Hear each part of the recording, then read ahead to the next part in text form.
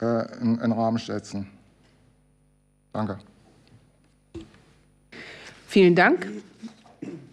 Dann hat jetzt Dr. Ansauer das Wort für drei Minuten. Ja, guten Tag. Auch ich möchte mich herzlich bedanken für die Einladung, um hier Stellung nehmen zu dürfen. Äh, der Bundesverband Trans begrüßt äh, grundsätzlich die Vorlage, sowohl ähm, die Initiative an sich als auch inhaltlich vollumfänglich.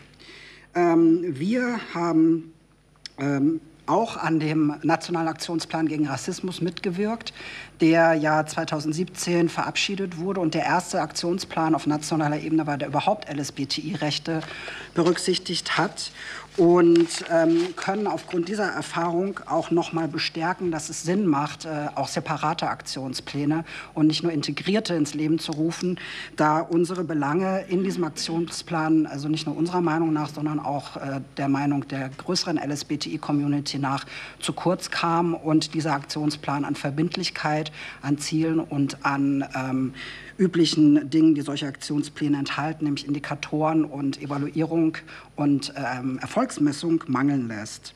Deswegen äh, ist das eine sinnvolle Initiative. Wir blicken auch ähm, bestimmt gemeinsam mit dem Deutschen Institut für Menschenrechte ähm, auf die Menschenrechtslage. Die deutsche Bundesregierung hat natürlich alle UN-Menschenrechtsabkommen unterzeichnet.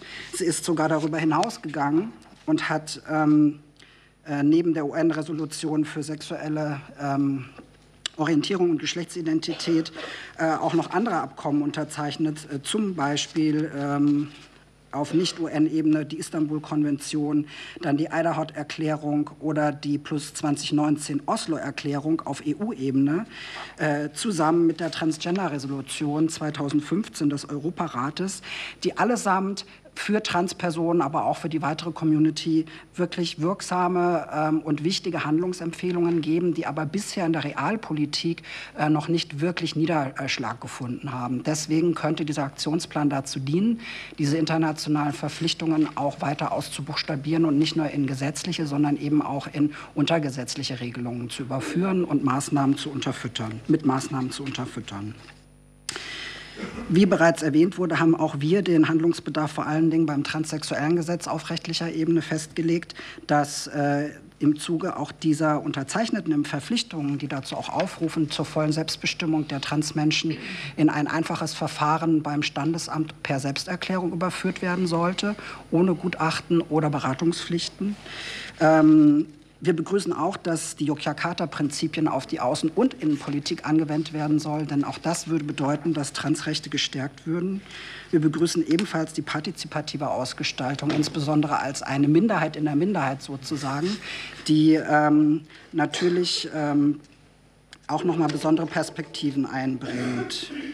Vielleicht darf ich noch einen Satz sagen zu, ähm, zur dritten Option. Äh, wir haben diesen Gesetzentwurf auch begrüßt und daran mitgearbeitet.